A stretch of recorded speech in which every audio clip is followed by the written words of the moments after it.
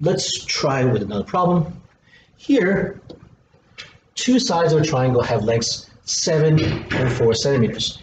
The area between the sides is 73 degrees. Find the area of the triangle. We're going to draw this triangle here. So let's see now, 4 and 7. I like making the longer side of my base. So here's 7, here's 4, and the angle between them is 73 degrees. Well, here we have uh, two sides, angle included. Let's use our formula. 1 half, and this is the, product of two sides, 4 and 7, times the sine of the angle measure, 73 degrees. Okay? So now, now it's just plug into calculator, right? Let's take a look. 1 half times 4 times 7 times the sine of 73. Okay, so calculator, 1 half times 4 times 7 times the sine of 73 degrees. Okay, and just enter a calculator and boom, we have 13.388266658. Uh, we're rounding to nearest tenth in this case. You know, and, you know, there'll be times when we ask to round nearest, nearest whole number, nearest foot, nearest centimeter. Uh, so 13.3882 or 13.4 centimeters. Let's take a look. In this case, uh, so we'll say 13. So our area is going to be 13.4 centimeters squared. Please do not forget to put the square on the on the units. Okay, and now that's some more basic problems. And you said again, draw a triangle, label a triangle. No, in this case, we're dealing with the sides, which angle and all. And from there, we should be able to find the area. But what if we want to find, we had the area we'll find other pieces? For example, the area of triangle PQR is 15. The side P is 5 and side Q is 10. Find all possible measures of angle R. Okay. All right, let's take a look. Let's see now. All right, first draw a triangle. So here's our triangle PQR. Uh, P, let's make in this case, since we're looking for R, I'm looking for R here. Here's P and here's Q. So lowercase p is 5. Oh, maybe I should switch this so it looks a little more like it should be. Okay? So since the side that's 5, so I'll put this p and put q here because the side opposite of p, angle p is lowercase p is 5, and the side opposite angle q is lowercase q, 10.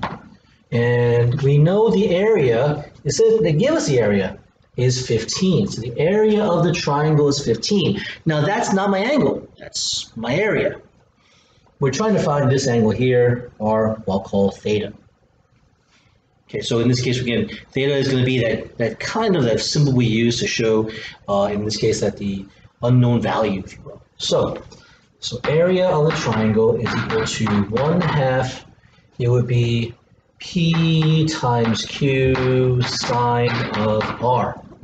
Notice that the we have the two sides PQ and the angle R. So notice the triangle, in this area triangle, we're using the letters PQ and R, is just the two sides are lowercase and the angle we're trying to angle involved is going to be the uppercase letter. So now we fill in and we see that the angle area is going to be 15 is equal to 1 half P is 5 and Q is 10. And we want to find the sine of R. Okay, so let's see now. I know I can multiply out the half times the 5 times the 10 and get, uh, well, 50 to, uh, times 1 half is 25 sine of r. And since we're trying to find the sine, the sine of the angle, we're going to find the ratio by dividing both sides by 25. Leaving us with the sine of r is equal to 15 over 25. Now, if you feel like simplifying, 3 fifths is fine. But remember, we're trying to find an angle measure, and the procedure to find an angle measure is not sine, but sine negative 1. Here it would be 15 over 25. Now let's go to the calculator. Now here's the important part of this. Okay? We want to be able to get this uh, sine of the angle to be about, in this case, the 15 over, over 25, it's about, uh, let's say 350.6. So we'll go to a calculator, So sine negative 1, so our second sine, oops, get that. Clear, second sine, and second sine of 15 over 25, 15 divided by 25, and we get in this case 36.86989765. So it's about 36.87 or 36.36.9. Okay? Now, here's the thing, okay? All right? So 36.9. Let's, let's, let's see if it, makes, if it makes sense though. Okay? Now we know the sine of, so in this case, the measure of angle R is equal to 36.9 degrees, approximately in this case right? Now, let's try to find this out. Let's see, there's a sine of 36.9 going to give us, uh, in this case, 0.6, 15 over 25 is 0.6, right? In case you want to check out, we go to a calculator, calculator, and so just to make sure, 15 divided by 25 should be 0.6. Okay, so let's see, 36.9 degrees. So the sine of 36.9 degrees. Okay, that's equal to 0.60042. Again, our reason why we get this number and not 0.6 exactly because we round it off. So it's very, very close though. You know, we're using angle measures, no, to round off, we're gonna get this. Now I said all angle measures. So is there another angle measure that might work out to give us the same value? For example,